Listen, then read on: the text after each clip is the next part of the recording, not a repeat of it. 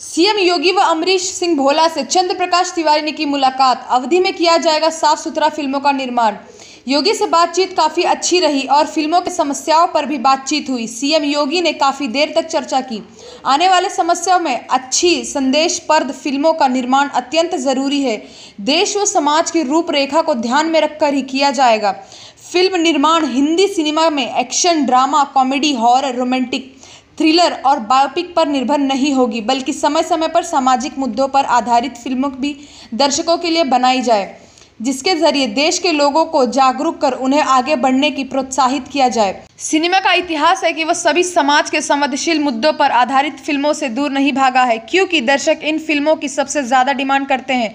ऐसे में आधुनिक हिंदी सिनेमा के नए दौर में अवधि फ़िल्मों का भी समावेश ज़रूरी है। इन्हीं पहलुओं को ध्यान में रखकर जल्द ही चंद्र तिवारी करेंगे फ़िल्म निर्माण, जिससे समाज में बदलाव का आना अत्यंत ज़रूरी है। वहीं वाराणसी जाकर हिंदू युवा वाहिनी के मंडल प्रभारी एवं वाराणसी विकास प्राधिकरण सदस्य अमरीश सिंह भोला जी से एवचू की काशी विश्वनाथ मंदिर के प्रगण में मुलाकात फ़िल्म को लेकर काफ़ी देर चर्चा चली।